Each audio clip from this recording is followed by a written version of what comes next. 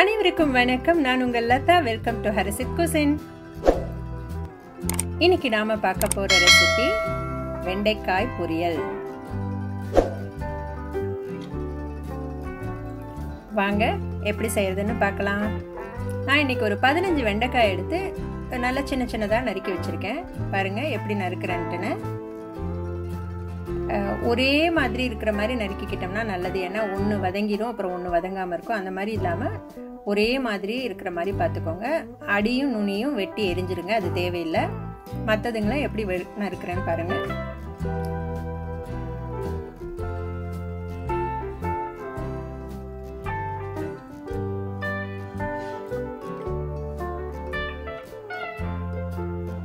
இந்த சைஸ்க்கு வெட்டி எடுத்துக்கோங்க.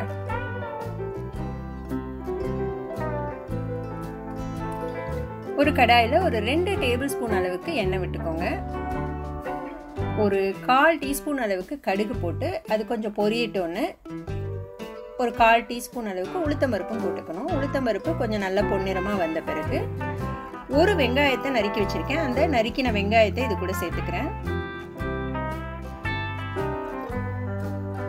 சேர்த்துட்டு கொஞ்சம் வதக்கி விடுறேன். இது ரொம்ப வதங்கணும் பொன்னிறமாக ஆகணும்னு அவசியம் இல்லை. ஏன்னா இது வெண்டைக்காயோட சேர்ந்து வதங்க போகிறதுனால ஓரளவுக்கு கொஞ்சம் வதங்கினோம்னாலுமே போகிறோம் அதுக்கப்புறம் நம்ம நறுக்கி வச்சுருக்க வெண்டைக்காய் துண்டுகளை இது கூட சேர்த்துக்கலாம். சேர்த்துட்டு கொஞ்சம் கிளறி விடுங்க. கூடவே கொஞ்சம் கருவேப்பிலையும் போட்டுக்கிறேன்.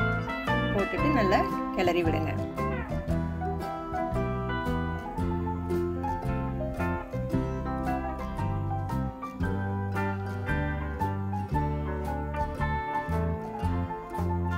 இந்த காய்க்கு தேவையான அளவு உப்பு சேர்த்துக்கிறேன். சேர்த்துட்டு ஒரு தடவை நல்லா எல்லா இடத்துலையும் உப்பு பரவுற மாதிரி கிளறி விடுறேன். ஒரு டீஸ்பூன் அளவுக்கு சாம்பார் பவுடர் போடுறேன். போட்டுட்டு நல்லா எல்லா இடத்துலையும் அந்த சாம்பார் பவுடர் கலக்கிற அளவுக்கு கிளறி விடுறேன்.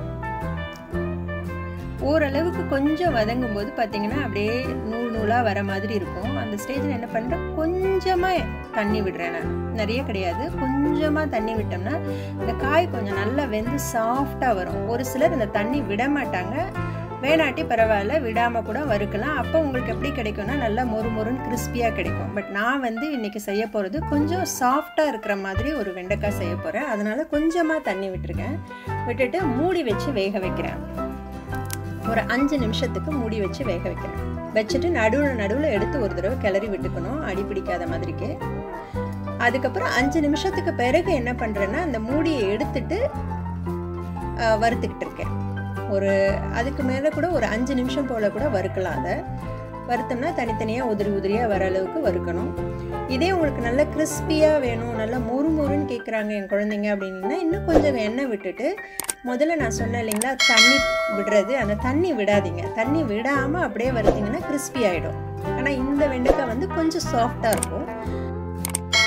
ஓகே அவ்வளோதாங்க நம்மளுடைய வெண்டைக்காய் பொரியல். தயாராகிடுச்சு இந்த ரெசிபி உங்களுக்கு பிடிச்சிருந்ததுன்னா ஃப்ரெண்ட்ஸ் ஃபேமிலிக்கு ஷேர் பண்ணுங்கள் மறக்காமல் சப்ஸ்கிரைபும் பண்ணிக்கோங்க. தேங்க்ஸ் ஃபார் வாட்சிங் பாய்